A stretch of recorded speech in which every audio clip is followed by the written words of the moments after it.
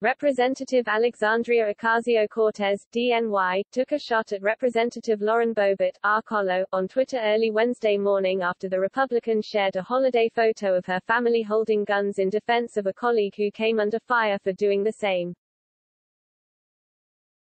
Representative Thomas Massie, R-Ky., faced backlash for a photo of him and his family posing with various rifles days after a school shooting had taken place in Michigan.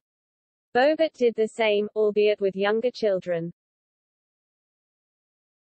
The continuation of the theme led Ocasio-Cortez to accuse the Republicans of not being true to the spirit of Christmas. Tell me again where Christ said, use the commemoration of my birth to flex violent weapons for personal political gain. Lol at all the years Republicans spent on cultural hysteria of society, rassing Christmas and its meaning, sick, when they're doing that fine all on their own, Ocasio-Cortez tweeted just after midnight, sharing a post of Boebert's family photo.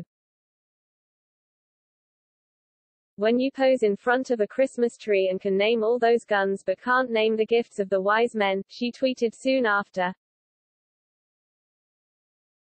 the Democrat played on the irony that it is normally Republicans who accuse Democrats of taking the meaning out of the Christian holiday. Boebert, who has been highly critical of Ocasio-Cortez and her fellow squad of far-left Democratic lawmakers, shared her family photo just a few hours before Ocasio-Cortez's response. The Republican Congresswoman included the message, the Boeberts have your six, at Rep. Thomas Massie, telling Massie that they have his back in the wake of him being criticized for his own picture. Boebert and Ocasio-Cortez have been taking aim at each other in recent weeks, with the Democrat calling for Boebert to be kicked off of congressional committees for her derogatory comments directed at fellow squad member Representative Ilhan Omar, D. Min.